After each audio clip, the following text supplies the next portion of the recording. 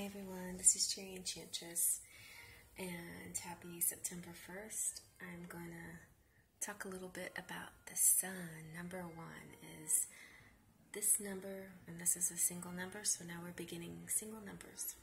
The number one vibrates to the sun. It represents creativity, protection, and benevolence.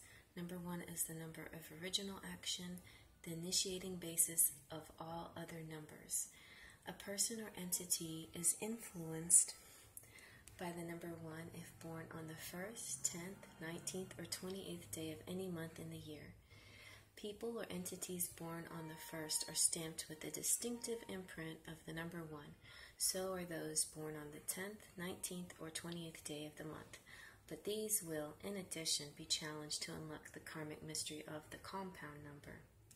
10, 19, or 18, as the case may be in their lives. The same is true of the single and compound number of the name of the person or entity being analyzed. The number one attitude and characteristics will be periodically exhibited by the number one person or entity and will interact with that person's or entity's personality in different ways, depending on the individual sun sign.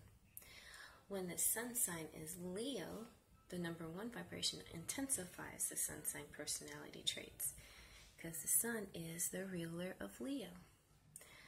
And if you see sun coming up in the in your cards, a lot of the time it could be referring to a Leo or a fire sign. Aquarius, the number one vibration, sometimes opposes the sun sign motives, but with effort can be used to balance the sun sign nature. Aries, Sagittarius, Gemini, Libra, the number one vibration harmonizes well with the sun sign character, motives, and personality patterns. Scorpio, Taurus, Virgo, Cancer, Pisces, and Capricorn, the number one vibration is in sharp contrast with the basic sun sign instincts. When it surfaces on occasion in the personality, the behavior is so unusual relative to the person or entity's normal or natural sun sign attitude, it startles others and often surprises the number one person as well. The meaning of the number one vibration. The following definition of number one applies to both people and entities. Number one people possess a strong sense of self worth and a marked dislike for criticism. A number one person demands and usually gets respect will insist on organizing and controlling everything and everyone around. The underlying desire is to be inventive, creative, and strongly original. These people are quite definitive in their views and can be stubborn when thwarted. They dislike restraint and must feel free. They almost always rise to some position of authority in whatever they undertake. Otherwise, they pout in the corner, nursing a bruised ego and frustrated ambitions. They insist on being looked up to by the mate, friends, relatives, or co workers, and even by the boss. So, if you think about Leos, it can kind of make you put this in perspective. They'll protect the weak, defend the helpless, and take on the burdens of others as long as the others will do the ex- exactly as the number one person dictates. They know everything better than anyone else and consider their opinions to be superior, if not flawless. The great majority of the time, they are right, which understandably annoys the people they lecture.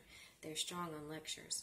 But one people are also unbelievably susceptible to compliments, sincere, not phony, and they can detect the difference. Genuine appreciation will get them to bend over backwards to please. Pride is their weakest point. When the pride is wounded, one people lose all their virtues and become most unpleasant. When they're appreciated and respected, no one can be more generous and benevolent, but they can be dangerous when ignored. Being in love and being loved is a vital necessity to them as the very air they breathe. Although the disposition is easily wounded, enemies are quickly forgiven after they bow down and apologize. The only way to win a confrontation with a number one is to be humble. Say you're truly sorry, and you'll be graciously excused. The number one person resents familiarity from strangers, but is extremely warm and affectionate with those who are loved and trusted. There is a fondness for children and young people, but often some sadness connected with a child. The number one person enjoys fine clothes and jewels, impressive cars. Even cloistered monk with a number one vibration will keep his robe mended, and the cord around his waist will not be torn or tattered. All number one people are blessed with a visible, inbred sense of dignity. Alright, so you have to take this all in a certain context, of course. I believe there's so much to a human personality. It's not just it's just like when you read your horoscope in the newspaper and you're like, "Hey, wait a minute, that doesn't sound like me." Of course, because you're you're not just the sun sign. You're you're you know, your personality embodies a whole chart full of variables. And here's yet another variable. So so you have your astrology sign and then you have your numerology sign and then you have then you have your upbringing and you know outside influences and all of the everything that makes up your personality. But um, I think this might even be more um, it would be more pure, like like a pure interpretation of that the sun. It, say if it's an entity. So if um, if you made your business, let's say, on the first of the month or something like that, then it would have that birthday.